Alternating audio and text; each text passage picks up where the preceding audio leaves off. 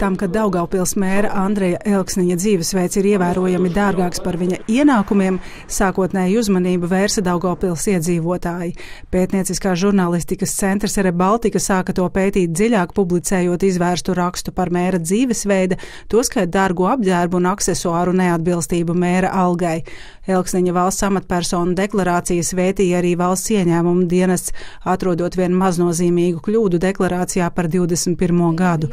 Raidījumā viens pret vienu valsts ieņēmumu dienesta ģenerāldirektori atzina, pārbaudas par Elksniņu tomēr nav beigušās. Par Daugavpils mēru pašlaik tiek veikta fiziskās personas pārbaude. Šādos gadījumos tiekot vērtēta nevien amatpersona, bet arī viņa ģimenes locekļi. Vidu vadītāji gan uzsvēra, ka pārbaudē atklātais netiks publiskots. Ja Elksniņa kungs uzskata, ka viss viņam ir kārtībā, es aicinātu Elksniņa kungu pašu iesniegt valsts ciņām dienestam iesniegumu par to, ka viņš piekrīt, lai valsts ciņām dienas dalās ar tiem datiem, ar to datu analīzi, ko mēs esam uh, veikuši un vēl veiksim. Vai jūs būtu gatavs iesniegt vidam iesniegumu, ka jūs atļaujat dalīties ar datu analīzi, ko vidu veids? es, nekomen, es nekomentēšu. Kāpēc nē? Es jau atbildēju uz jūsu jautājumu.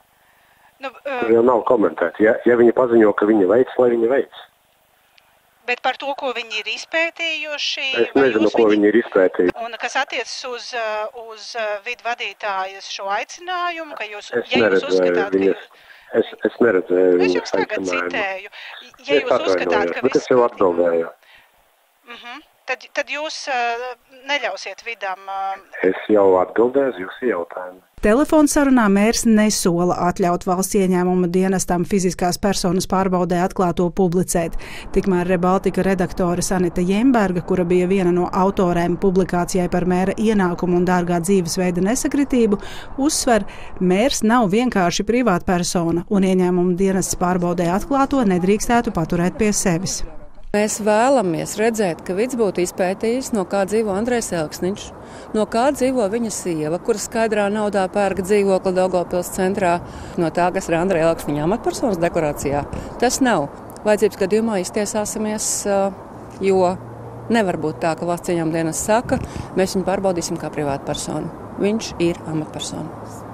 Piebildīšu, ka valsts ieņēmuma dienesta ģenerāldirektore intervijā arī norādīja, ka sadarbojas ar citām iestādēm un dienestiem.